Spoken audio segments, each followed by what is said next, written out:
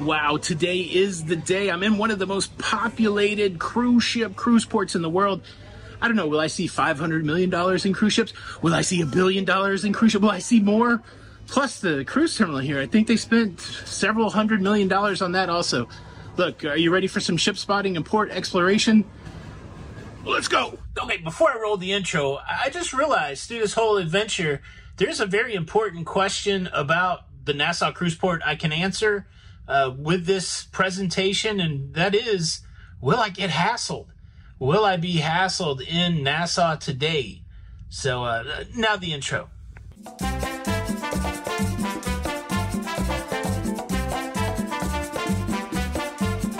All right, so we have just disembarked from this beautiful cruise ship here, the Carnival Vista.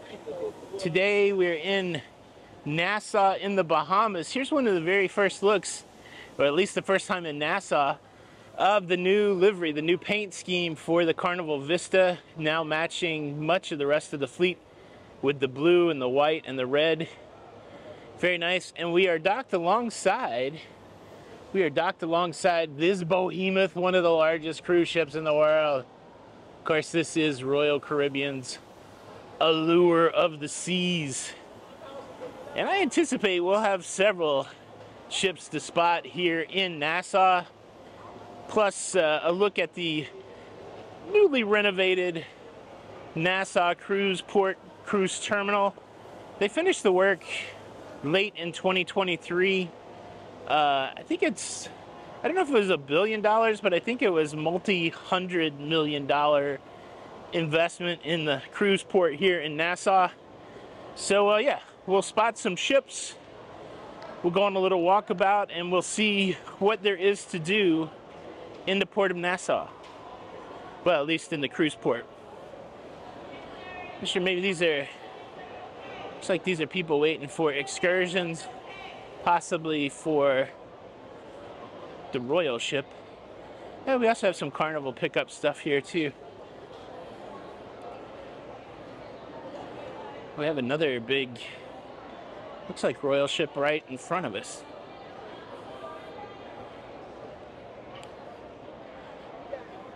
How do you guys feel about getting your picture made when you come off of the ship?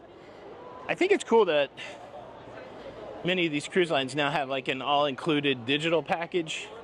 I think if I had the all-included digital package, I would I would take a million pictures. But I don't know about the individual printed picture if I would be that keen.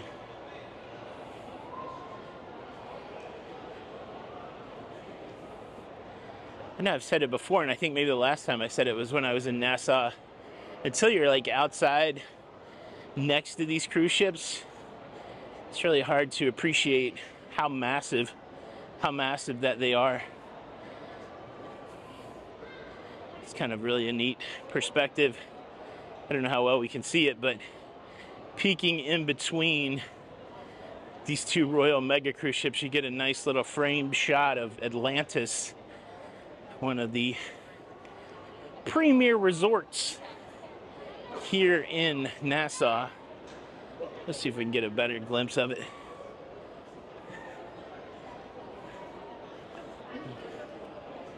Just kind of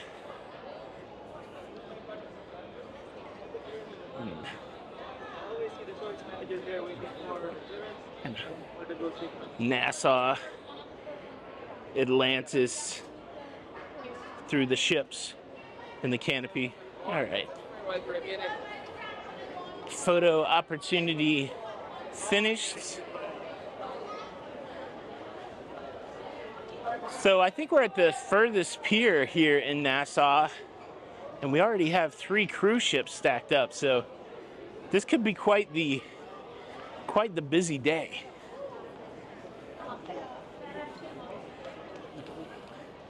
Wow, look at this, this massive sea of people. I can tell you already, and I'm probably telling on myself, but I'm gonna have some sunscreen regret today, I think. The fortunate thing about the new cruise port here in Nassau is that they have a ton of this shaded walkway. So I guess you only have a few moments of exposure to the sun. Liberty of the Sea, she's no slouch herself. This is a pretty big cruise ship. We get up to the corner here, we'll turn around and take in the allure and the vista. Shoot, let's do it right now. Plus, we get our first look at the Disney cruise ship. I believe that's the Wish. She was in Port Canaveral with us yesterday. Look at this. Wow. Holy moly.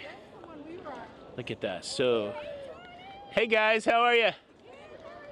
Man, I'm just uh, enamored with these huge ships. I feel like part of the family. We see you every Oh, day. thank you guys so much. Nice to see you. Wow. All right, we gotta stop for another photo op. All right. Back on the hunt. The hunt for more cruise ships and cool cruise port experiences. Wow. And this is the stuff that dreams are made of for ship spotters, cruise ship lovers.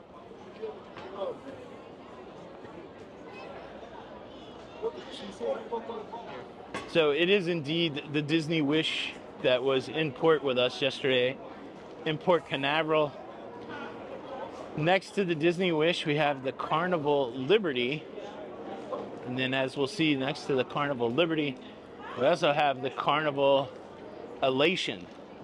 So, got uh, quite the carnival contingent here. Uh, three carnival ships, one Disney ship, two Royal Caribbean, and it's uh, it's before 10 a.m. So, it would not be shocking if another cruise ship showed up to take its place in Nassau.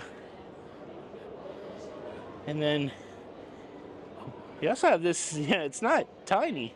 Have this yacht here, uh, taking up. um, maybe the good like third of the length of the Liberty of the Seas.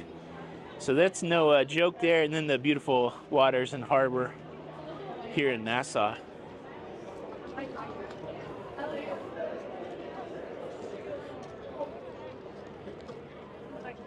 Now, of course, on the dock, there's going to be some access to purchase private tours, and some of those private tours are going to leave by leave by boat here. So you'll see people gathered up. Uh, ship excursions happen out of here also, but you're going to get a mix of private tours and ship excursions. But something, you know, if they have to go over to Atlantis or something that's reachable by boat, one of the beaches, that kind of thing. Uh, fortunately, you don't have to leave the cruise port. You just come to this spot for most most of those adventures. They take you right Give there. you a better look of the Disney Wish and all of her glory here. And then uh, a little bit of an aft shot there of the Carnival Liberty. And of course, the Elation. One of the last of fantasy class Carnival cruise ships. She does look good though with the new paint scheme.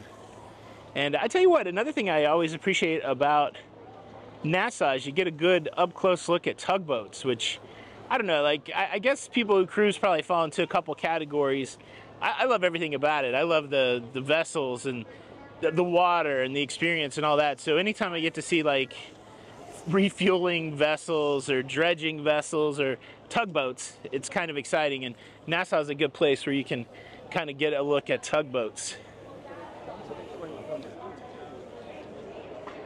We'll walk up on these tugs and just take a closer look. It's really amazing the role that they play in cruising. Sometimes the only thing that keeps a cruise ship out of danger and from crashing is the ability for a tugboat to keep it tugged away from something or push it into something. Uh, of course, they have these huge rubber bumpers because they will uh, they'll push a cruise ship around or they'll hook a line to it and tug it around. That one is the Samson, and then we got the Kenneth C up here. And kind of as we approach the Kenneth C, we're starting to get into the official Nassau cruise port. So it's a little bit of a hike if you're in one of the furthest back piers to get there, but nothing unreasonable. A lot of shade, a lot of seating, so you can stop along the way. And here's a nice look at the elation. Carnival Elation.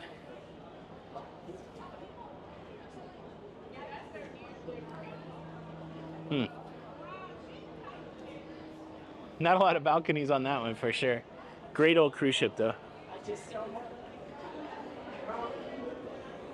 Pretty sure if it if it's I don't know the actual date, but I'm pretty sure that was built in the 1900s. The same century we got cars. I mean, it was the late 1900s, but still.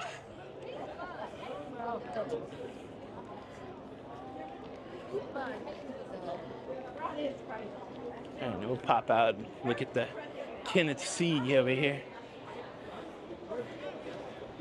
This tug doesn't have quite the. Well, you know, this may not be a tug actually. I was like, there's no bumpers, and it looks like it's got some other stuff going on. A big winch there.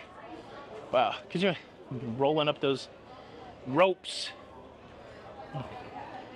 Kenneth Sea. I'm assuming this is a tug, but looks like it might have some other purposes.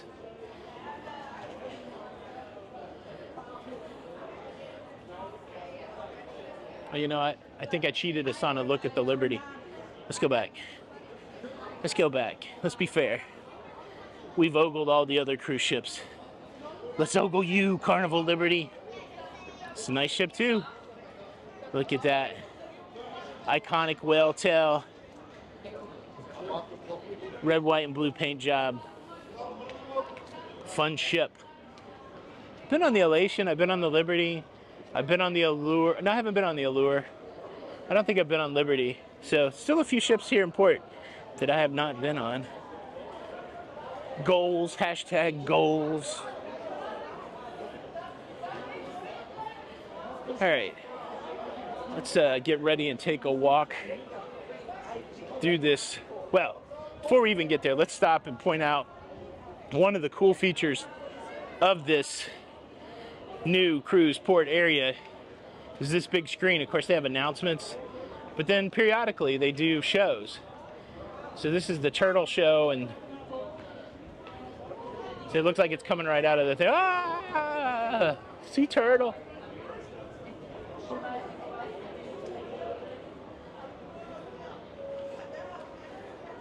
I think there. I think this is the one where you get the.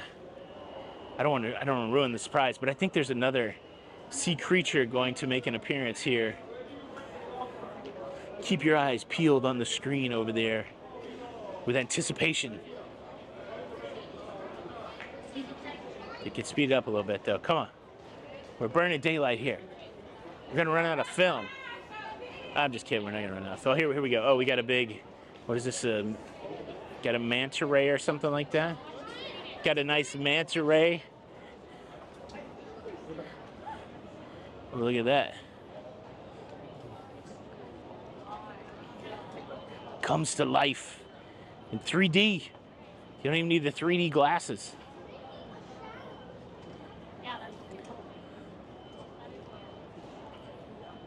I don't know. I don't know if this is interesting to see or not, but I do believe there's one more sea creature. Then we'll move on. Sorry that this is dragon. The next sea creature is not a dragon though, but uh, here we go. Let's see what's going to happen.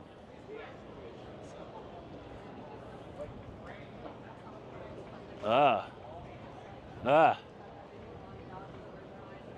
Ooh, look at this. Big squid. Squiddy, squiddy. Don't ink me, bro. Don't ink me. I think he's going to ink us, if I remember. No, he doesn't ink us. I really thought we were going to get inked there. I still think there's one more creature. All right, let's walk a little closer. Too much time in one space here. I'm getting bored myself. What? we- Oh, it's over. That was it. The big squid was it. All right, there's another. Oh no. Oh, I'm sorry. Ah. Oh, it wasn't over. They tricked us. Look at this big shark.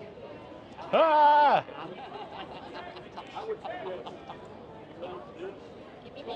I don't think he's done. He's coming out of the. Ah! Ah! Look at that. It's not real, folks. It's all good. That's cool. Pretty neat. All right. I mean, even with that, you've probably been thoroughly entertained enough to go back to the cruise ship. But the, but wait, there's more. There's more to do. There's more to see in the Nassau port. Let's uh, let's uh, walk through the entrance here. We'll get our bearings, and uh, the tour will continue. This is the official arrivals terminal.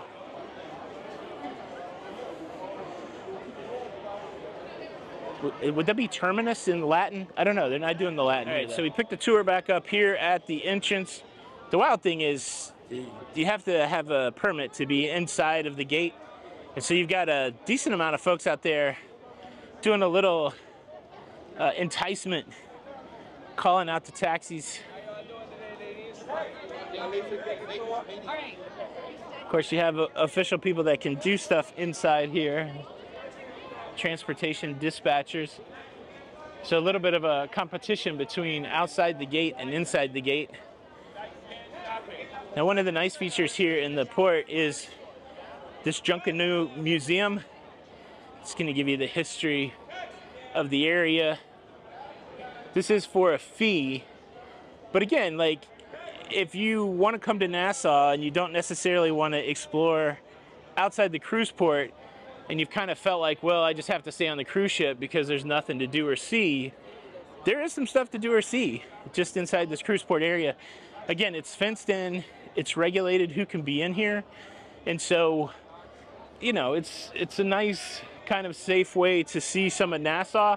I know some folks would push back and like, well, what kind of what kind of traveler tourist are you if you don't, you know, get out and experience it? But yeah, yeah, it's not not everybody has to travel the same way. So you know, there's some people that want just a real kind of safe, easy experience, and I think you definitely get that inside this new port area. So you got sightseeing, informational tours, stuff where you can book a tour. Again, you got, you know, a fenced off area. Scooter and ATV rentals, man, you got, uh, there's so many stories out there, people that have, I'm, I'm sure a lot of people do this without any issue, but there's a few outlier stories of people having bad ATV and scooter accidents, life losing accidents. And so, if you're not real familiar with those vehicles, I would say be super cautious. Of course, look, if you like to shop, you can definitely get your shop on. Got all kinds of stores crocheted bathing suits, the Passion Tea and Coffee Company, you got hot sauces and teas jewelry. Got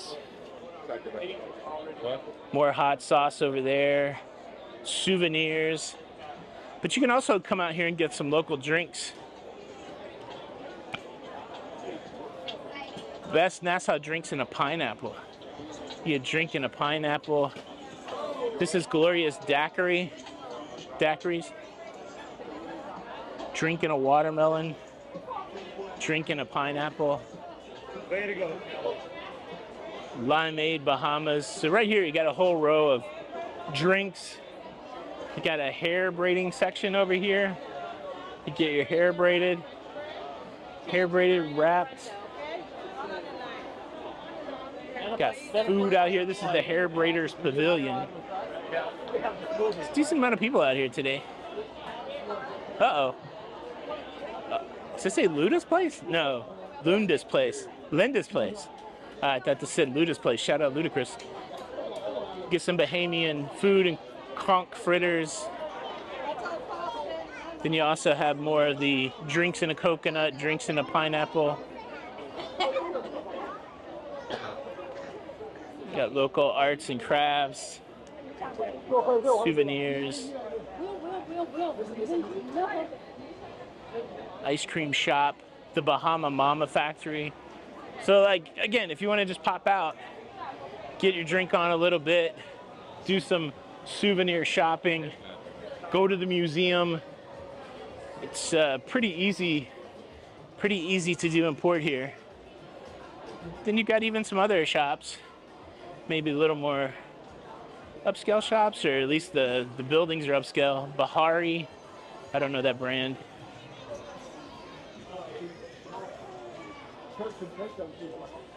Say we came.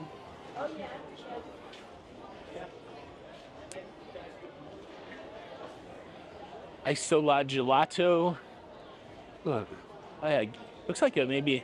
I think this gelato is also a coffee shop, which is nice. Got another beachwear. What do we got on this side? Bahamas handprints. Haas Assembly of Nassau. Isola Gelato. I feel like on the side here they've got a coffee menu. Excuse me. Where you want to go to? Just for my own sake. Iced coffee seems like it'd be really nice right now. There is a Starbucks in uh, Nassau uh, out on the street. Ah, this might not be the place I'm thinking of, but a nice little, nice little gelato shop. And then here you go. You can pop right out if you want. If you want to leave the port area, you can pop right out on the front street here in Nassau.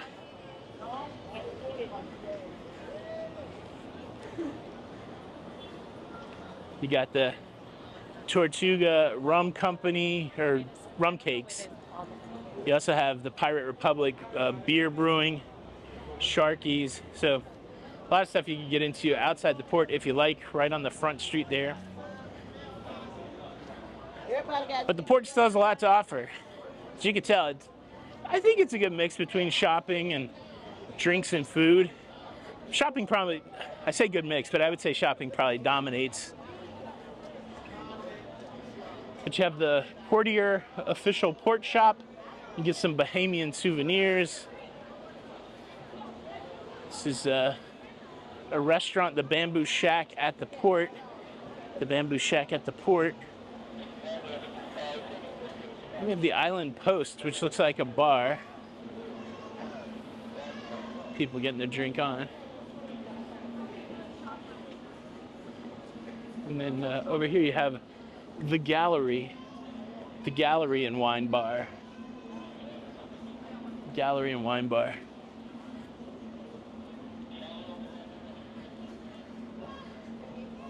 And so, yeah, just a reminder, we're still inside the official port area. This place looks interesting once it opens. The Preacher's Kid, Hamwich, Stew Crunch, Sticky Johnny Cake.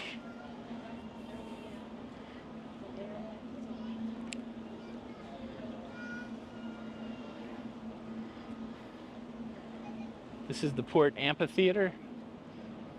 Let me, let me jump in real quick before we finish off this tour. Just first to say, what what is this? Is this does that count as a towel animal?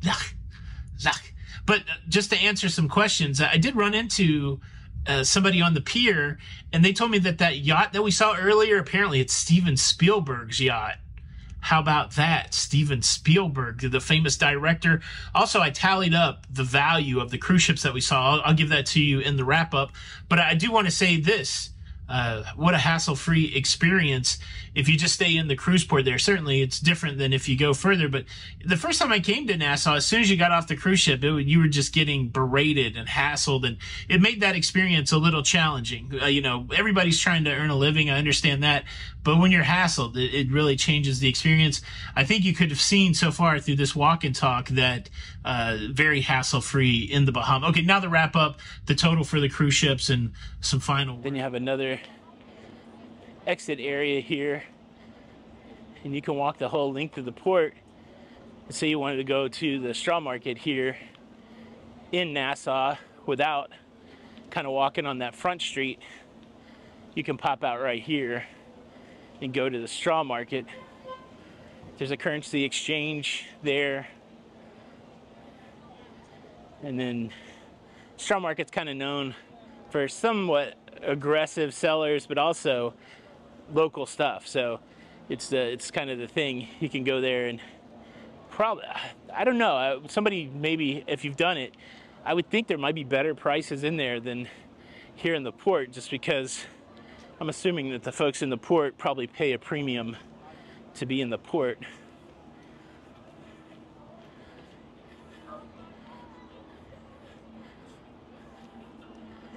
And then not only does the cruise port have docks for the cruise ships, but they also have smaller berths for smaller ships that you could get to over here. And I think the last exit of the port pops you out over there, kind of near Señor Frogs. But yeah, really nice area. Like, again, if you want to just come out, get some sun, sit around a bit, get yourself a drink, get yourself some food. I mean, look how beautiful this is over here. Just, you know, it's not huge, but it's like a manicured little walk-through area. Got seating. Um, yeah. Nassau Cruise Port. So I, I did look it up. This cruise port cost $300 million to build. Uh, this is the latest iteration of the Nassau Cruise Port. And I also did some quick calculations. Over $2 billion in cruise ships for the, how many cruise ships do we see? Six cruise ships? Uh, yeah, that's some pretty sexy ship spotting. Over 2 billion in cruise ships here in the Nassau, Bahamas cruise port. Do you even get off the ship in Nassau? Does this look like someplace you'd like to knock around just to get out in the sun? I'd love to hear your feedback below. Thanks so much for checking out this episode. If you enjoyed it, please hit that like button, subscribe for more. This is Tony for La Lido Loca. And until the next time, we'll see you on the Lido. Bye.